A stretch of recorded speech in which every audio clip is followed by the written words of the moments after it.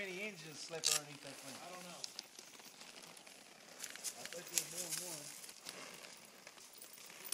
You know, I bet that'd be pretty underneath that thing when it's